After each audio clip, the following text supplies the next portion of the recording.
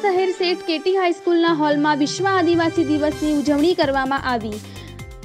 દાતાપોશીના ખેડબ્રહ્મા તાલુકા મથકે આદિવાસી જનસેવા કેન્દ્રનું લોકાર્પણ કરવામાં આવ્યું હતું. સંયુક્ત રાષ્ટ્ર સંઘ દ્વારા જાહેર થયેલ વિશ્વ આદિવાસી ગૌરવ દિવસ નિમિત્તે વિશ્વ આદિવાસી ગૌરવ દિવસની ઉજવણી કરવામાં આવી હતી. તેમાં દાતાપોશીના ખેડબ્રહ્મા તાલુકાના આદિવાસી ભાઈઓ બહેનો જોડાયા હતા.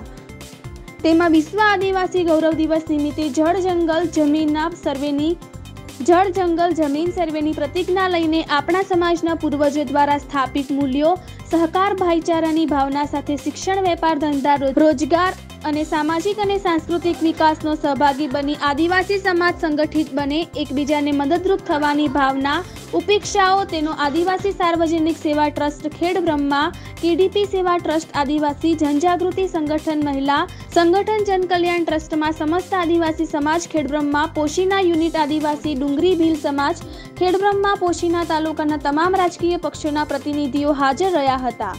તેમાં અંગારી રમેશભાઈ ભૂરાભાઈ પ્રાંત અધિકારી રિટાયર્ડ સોલંકી કિંજલભાઈ, કોદરભાઈ પરમાર, રસિકભાઈ બાબુભાઈ તરાલ, મહેન્દ્રભાઈ અંગાડી, અમરાભાઈ ખોટ, જેઠાભાઈ અનિલભાઈ સોલંકી, ગુલાબભાઈ જવાહરભાઈ ગમાર, સોલંકી અનિલભાઈ મામલતદાર, retired doctor Shivabhai Bubadiya, KDP Taral Bhavarbhai મોટી સંખ્યામાં આદિવાસી ભાઈઓ, મોટી સંખ્યામાં આદિવાસી ભાઈઓ બહેનો ઉપસ્થિત રહી અને કાર્યક્રમને સફળ બનાવ્યો હતો.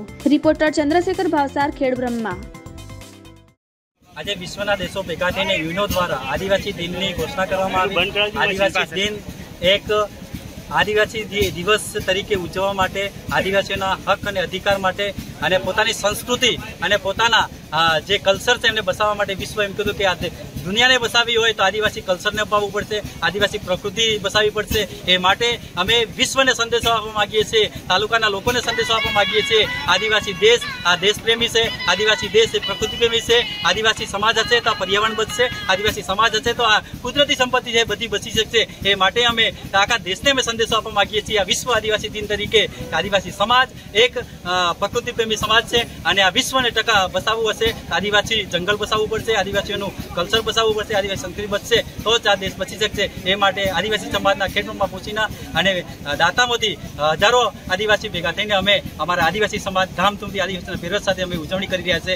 એ માટે સર્વને આદિવાસીના, આદિવાસી સમાજને હું આવકારું છું. અને શુભેચ્છાઓ આપું છું. જય નવમી ઓગસ્ટ વિશ્વ આદિવાસી દિવસની ઉજવણી નિમિત્તે આજરોજ આદિવાસી સમાજના ખેડબ્રહ્મા પોશીના અને દાતા તાલુકાના લોકો અહીંયા એકત્રિત થયા છે અને આજની તારીખે આદિવાસી સમાજ શા માટે પછાત છે એ માટે ચિંતન કરવાના છીએ અને સરકારશ્રીની જે કંઈ યોજનાઓ છે એનું મહત્તમ છેવાડાના આદિવાસી સમાજના લોકોને મળે એ માટે પણ અમે જનસેવા કેન્દ્રોની આજરોજ શરૂઆત કરવામાં આવી છે. દાતા પોશીના અને ખેડબ્રહ્મા ખાતે આદિવાસી સમાજના લોકોને મામલાદાર ઓફિસ તાલુકા પંચાયત કચેરી કે અન્ય કોઈ પણ સરકારી કચેરીમાં અરજી કરવા માટે, લાભ લેવા માટે અરજીઓ કરવાની હોય, તો વિનામૂલ્યે અરજી કરવા માટે થઈને આદિવાસી સાર્વજનિક સેવા ટ્રસ્ટના નેજા હેઠળ આદિવાસી જનસેવા કેન્દ્રોની આજરોજ ત્રણેય તાલુકામાં શરૂઆત કરવામાં આવી છે.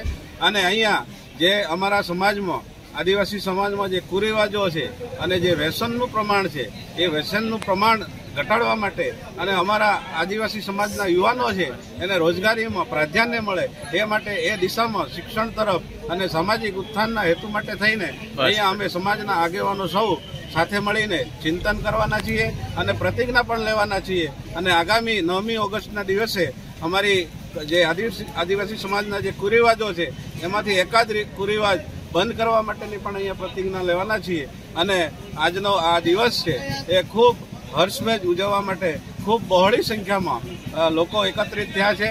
તો જે લોકોએ આજની આજની, આ કાર્યક્રમમાં ભાગ લીધો છે, એ તમામ લોકોનો હું ખૂબ હાર્દિક સ્વાગત